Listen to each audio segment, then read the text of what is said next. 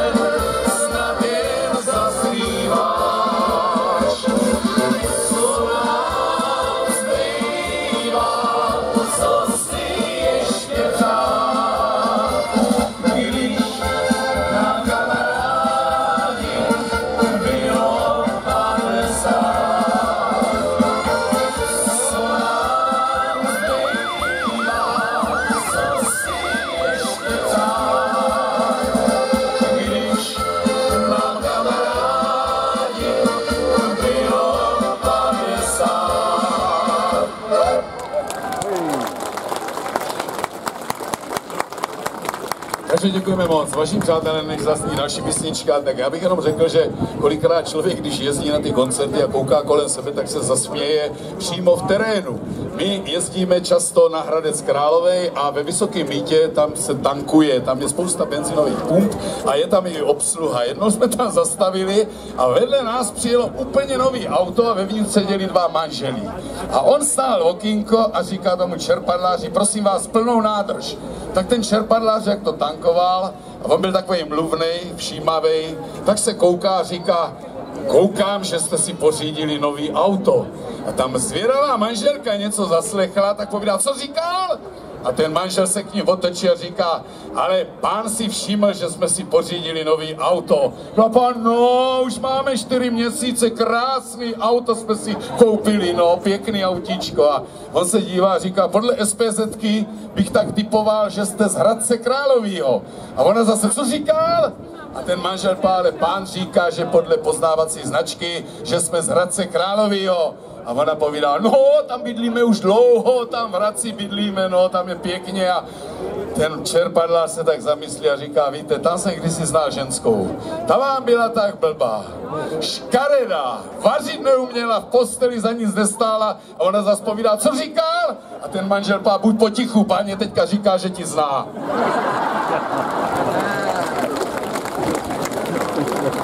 Tak, vážení přátelé, tak jsme se trošičku zasmáli a přichází, on ten život vždycky není jenom veselý a je i vážný. A teď přichází písnička, která není tedy smutná úplně, ale je trošku k zamyšlení, i když paní říkala, že to je písnička, u které propláče celý kapesník. Písnička se jmenuje Vzpomínky, takže jdeme vzpomínat.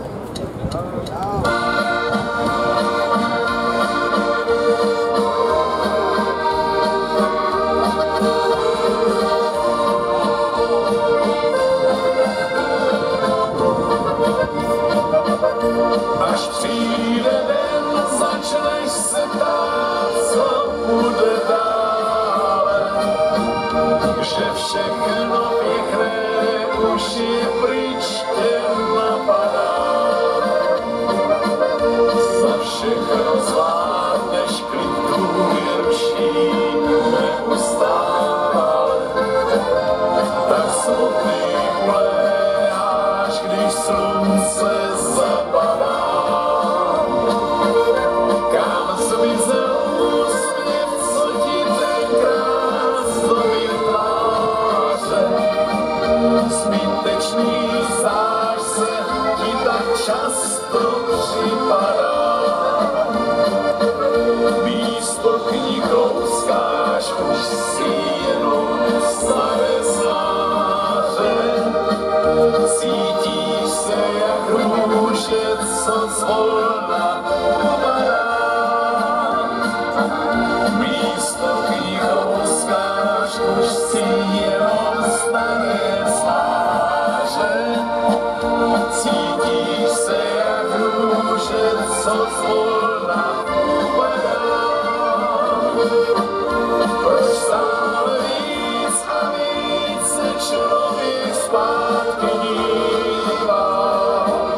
Proč všechno hezčí se bude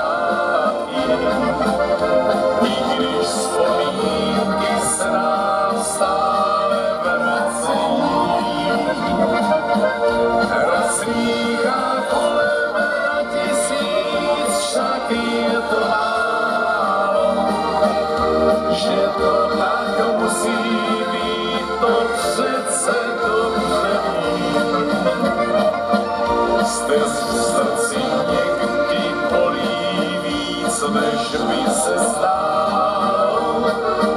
Vzpomínky na to mládí snad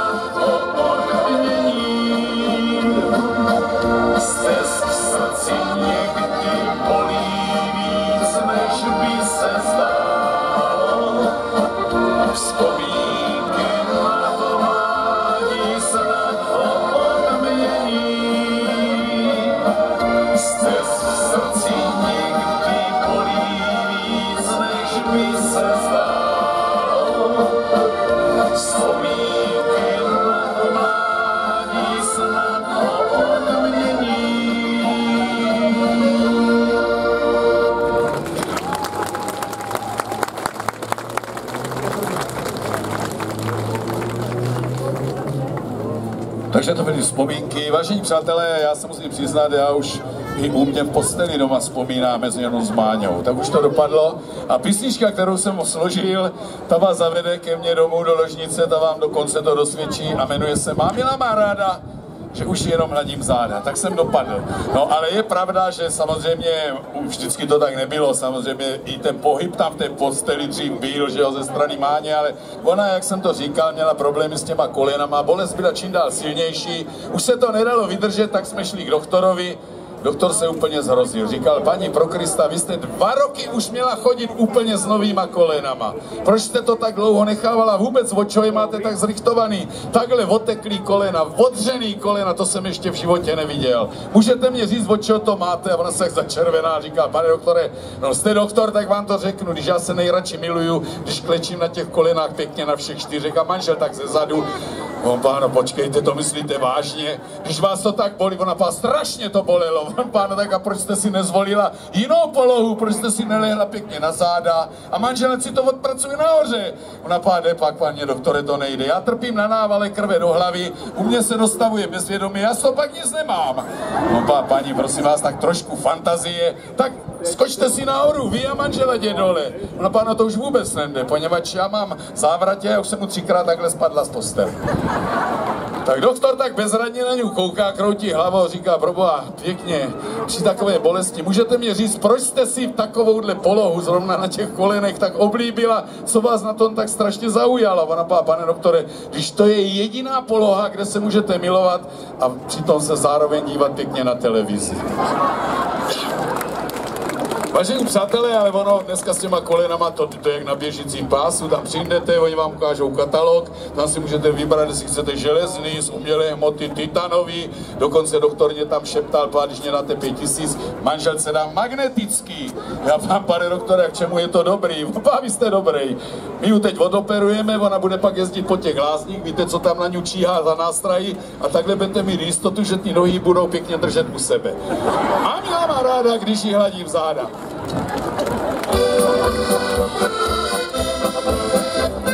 Mámila má ráda, když jí hladím záda, potom dáš jim prej si nechá zdát.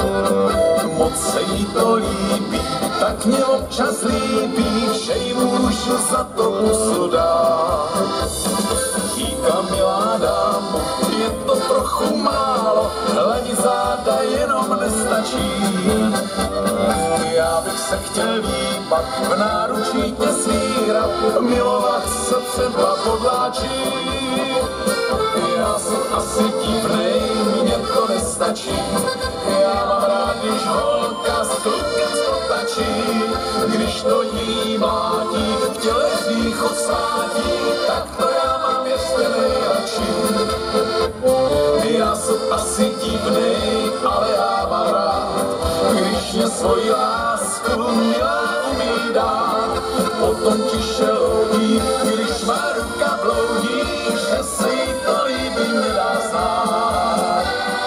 Sedneme si v roučku, v lese na paloučku, až sluníčko v létě začne řát. Zavřeš svoje očka, jak ospalá kočka, a třeba si začneš něco přát. Já se budu dívat, z lehonka tě líbat, počkám, až dáš malé znamení.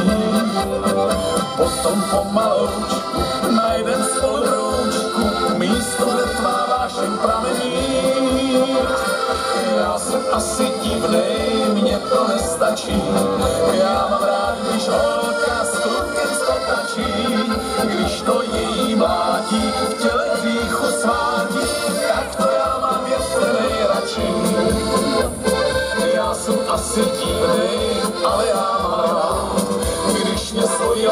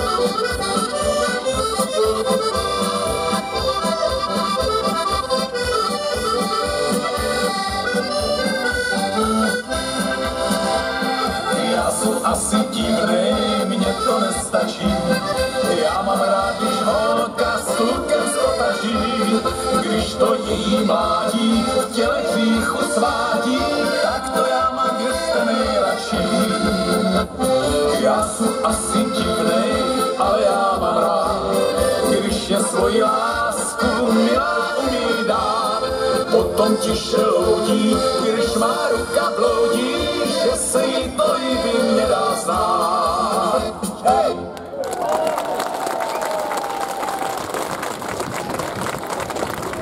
Tak, vážení přátelé, další písnička, která zazní, tak eh, my, když jsme přijeli na Slovensko, tak tam nám dokonce jedna paní říkala, přijeli jste všichni nebo jenom tři? Já na ní koukám, pan, my jsme tři, tak jsme všichni tři, nebo na pano, jestli máte tu holku z Moravy sebou.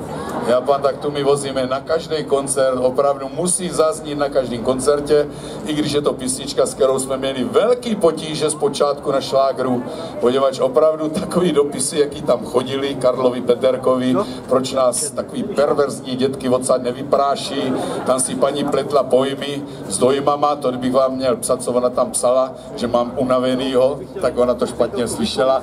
Takže holka z Moravy nakonec vítězila, na šlágru zůstala, my jsme rádi, protože se řadí mezi naše nejoblíbenější písničky. Já musím říct, já vidím, že asi víte, o čem vypráví, jak dopadne starý mlsný dědek, když si ještě vybere pěknou mladou hezkou holku z Moravy, ale já musím k tomu říct, že oni někteří ti starší mají takový všelijaký nápady. Jeden 90-letý dědeček dostal chuť do ženění. Vážení přátelé, on se tak zblbl a vybral si 17-letou nevěstu. Tak do ní hučel, sliboval hory doly, dodnes nevím, čím to dokázal, že ona souhlasila, tak měli svadební obřad. Večer svadební noc, děda po dlíkačkách vezl do postele a čekal, až ten motýl v té průhledné košilce připlul posteli. Léla si k němu a on říká, miláčku, doufám, že ti maminka řekla, co se o svadební noci má dělat, aby věděla, jak to má všechno tady takhle být a ona zbledla, říká, tak to teda nevím. My jsme se s maminkou o takových věcech nikdy nebavili. Jirek zbledl ještě víc a říká, tak to je v pytli, poněvadž už jsem to taky dávno zapomněl. Vážení přátelé, ještě, že je lehká pomoc těch modrých pilulkách. V té Viagře pro pány. Já musím říct, pánové, nebojte se toho, já to mám vyzkoušený, funguje to. A důkazem toho je, jak ten dědeček říká u večeře svýmu vnoučkovi, říká Frantíku, tvůj tatínek má v nočním stolku v ložnici takovou krabičku plnou modrých pilulek. Když mě jednu tu pilulku přineseš, ráno budeš mít ode mě pod talířkem u snídaně stovku. Kluk vystřelil jako šipka, letí za chvilku dětkovi šupl pilulku do kapsy, ráno nazvedne talířek a tam byla tisícovka. Ona to kouká, říká, dědo, ty jsi říkal, že když ti donesu tu pilulku, že tam bude stovka, tam je tisícovka. On to je v pořádku, stovku máš ode mě a devět stovek ti posílá babička. Holka z Moravy!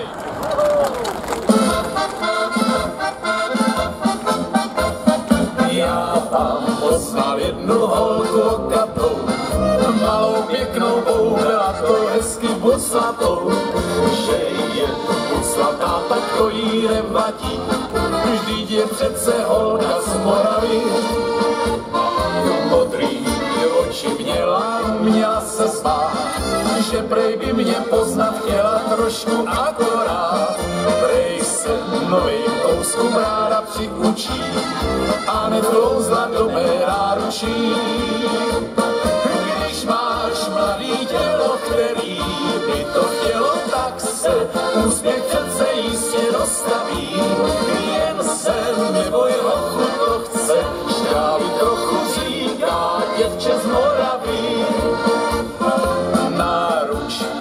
Jsem té mladé víly měl, co s tím mladým tělem dělat, už jsem zapomněl. Ona prej mě ale ráda poradí, když je mladá holka z Moravy. Přes ten furt to chtěla v noci ještě víc, já mu toho skučel, já byl jak vlk na měsíc. Šestkrát klidně to mě vážně unaví, řekl jsem té holce z Moravy, když máš mladý tělo, který by to chtělo, tak se úspěch přece jistě dostaví. Jen se neboj, ochu to chce, šťávy trochu říká děvče z Moravy.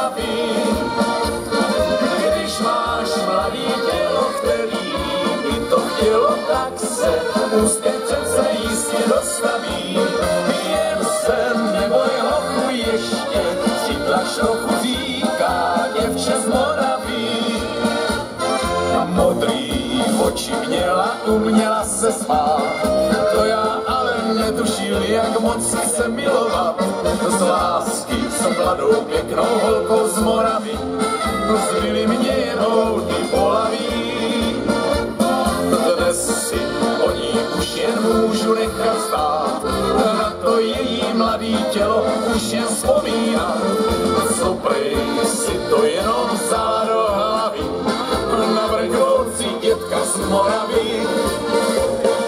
Když máš mladý tělo, který by to chtělo, tak se úspěch přece jistě dostaví.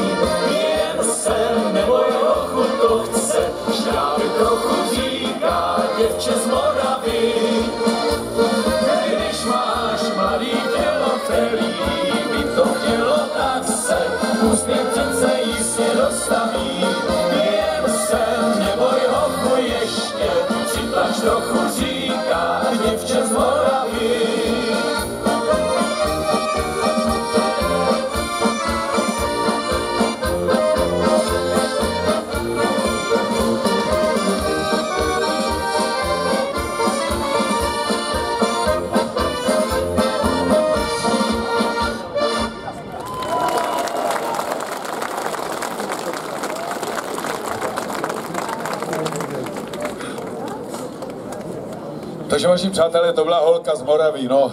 Jarda mě tvrdil, říká člověče, teď byly i jiné metody, jak se to dalo využít, že jo, nemusel vždycky jenom s tou holkou mladou a to dneska máš takový ty domečky s těma srdíčkama, s těma červenýma lampičkama, tam můžeš zajít, uspokojit se, jak je ti milo. Já páno, dobře, ale víš, co to stojí peněz, člověče. To leze strašně do peněz a Vážení přátelé, a to je pravda, my když jezdíme při těch hranicích ze Slovenska, tak tam těch domečků je opravdu spousta a ty ceny, Jarda nás informoval, on tam teda koukal jenom oknem říkal, a že jsou opravdu hrozný. Ale představte si, že jednou tam přišli tři takový mladí podnikateli, šrajtofle nabitý penězma a zrovna se hrnuli na tu recepci v, v tom hampejzu, jak my říkáme, a šli za tou recepční a říkají, helejte se, my tady s kamarádama budeme slavit narozeniny, chtěli bychom u vás prožít krásný takový večer, že bychom si tady popili, pak si dali nějakou večeři a na závěr, jestli by bylo možné, že byste nám tam na pokoji každému naexpedovali nějakou tu vaši pěknou slečnu. A ta recepční byla, helejte se, to není problém, ale my máme sami prvotřídní zboží, ty slečny jsou pěkně drahý. To je všechno prověřený od doktorů, mluví o několika jazykama a opravdu to teda není levná záležitost. A oni říkají, podívejte se, nám na penězách vůbec nezáleží. My chceme mít pěkný prožitek, takže jestli by to šlo, ona pá, není problém. Tak oni sedli, začali slavit. Za dvě hodiny už neviděli o světě, byli zbombardovaní, jak zákon káže. A teď přišel majitel toho podniku a říká té recepční, helejte se, oni už stejně neví o světě, oni budou rádi, že vůbec po čtyřech nějak se dopraví do, každé do toho svého pokoje, co by jsme jim platili tady nějaký drahý slečny. Strčíme jim do postele každému tu nafukovací pár panu a oni stejně nic nepoznají. Tak to udělali, ti se odebrali na lože, ráno přijdou do recepce a ten jeden pá tomu druhý pá, tak jak se změl? A on pá, čoče, ani nemluv. Já jsem přišel, chtěl jsem si ještě chvilku povídat, ona se mnou nemluvila, tak jsem se k ní otočil zadkem a spal jsem taky až do rána. A ten druhý povídá, to byl můj případ, ale já jsem si řekl, když si zaplatím, tak si chci užít. Tak jsem na to skočil, do rána jsem se teda nezastavil, a tak zedřený jsem v životě nebyl. Tam nebyla vůbec žádná spolupráce, já vůbec nevím, za co ty peníze jsem dal. Opravdu jsou nadřené, jak kdybych tady stavěl barák. A ten třetí na ně kouká říká, chlapi, co vy si můžete naříkat? Na mě připadla, to musela být původně nějaká čarodějnice. Já jsem mi kousl do zadku, ona zasyčela a ulítla mě oknem.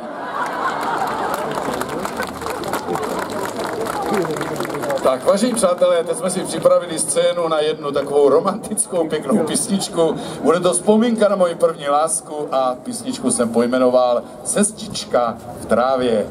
Už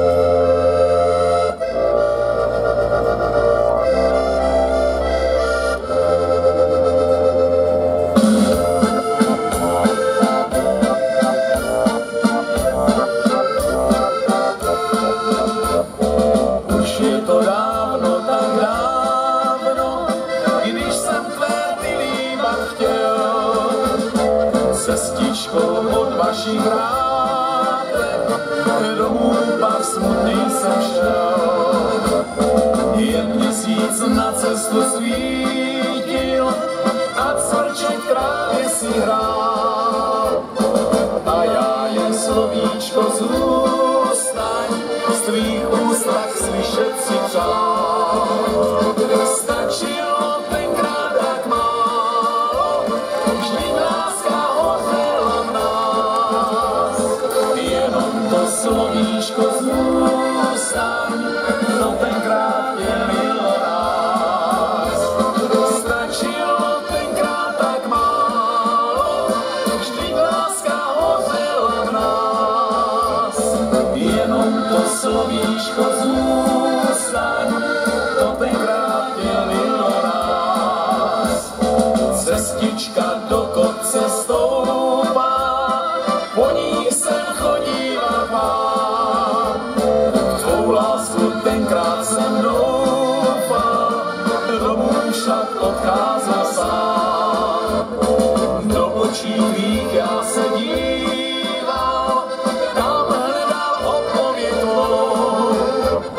Stačilo říci, tak zůstaň, krok lásku nespoutanou.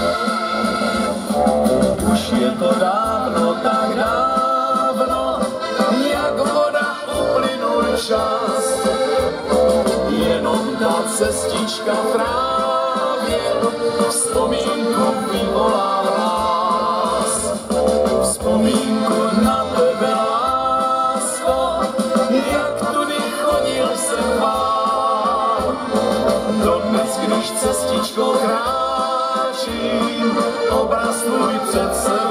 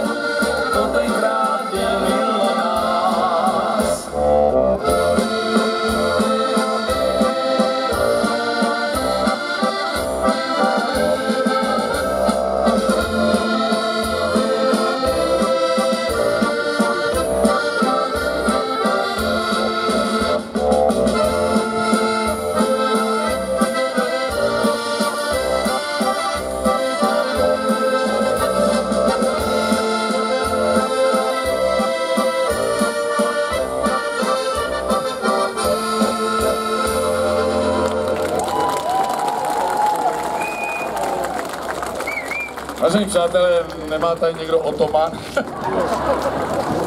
Jarda, jak slyší o cestičce a o chožení, tak ten se hned pokládá a takže vidíte to nakonec židlička všechno rozhodla.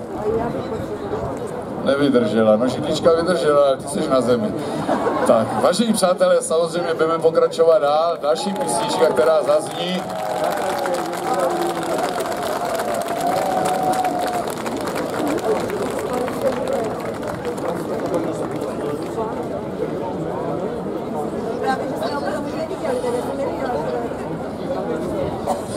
Písnička, která teď zazní, ta přímo na ten jarový výkon navazuje, poněvadž se jmenuje Užívejte mládenství vašich mladých let. Takže to vidíte, vážení přátelé, že opravdu je potřeba toho užívat, pak protože v pozdější věku by se mohli dopadat takhle. No, já vždycky, když to říkám, uvádím, tak mi říká, užívejte mládenci, hlavně dokud to jde. A zprosták Jarda to má za to, ten říká, dokud je čím. Ale on má trošku pravdu, protože jeden kamarád jel navštívit svého kamaráda z vojny a přijel k němu do Olomouce, leta se neviděli a teď popíjeli, vzpomínali, popíjeli, vzpomínali a najednou on se dívá, říká Safra, už skoro 12 hodin, abych měl domů do Brna se vrátit a ten kamarád mu říká, kam bys jezbil, přespíš u nás. On pá, já bych rád, ale ty, ty s manželkou bydlíš tady v jednopokojové garzonce, vidím, že máte jenom jednu manželskou postel, ještě k tomu takovou malou, tak kde bych jsme přespali všichni tři, on pá, podívej, jsme kamarádi, nebudem z toho dělat vědu, pro jednou se svět nezboří, přespíme všichni tři na té posteli. Tak večer lehli, zhasli, Ráno se probudí a ten kamarád tahá toho hostitele, říká člověče, já ti děkuji za tu důvěru, že jsi mě tady nechal přespat, ale stejně ti musím říct, že ta tvoje manželka, to musí být tak náruživá ženská, Pá, prosím tě, jak za to přišel. Pá, no jak jsme večer zhasli, lejli, ona mě za něho čapla, do rána mě ho nepustila. A ten kamarád na něho kouká říká, to nebyla manželka, to jsem byl já, jistota, jistota. Užívejte mládenci vašich mladých let.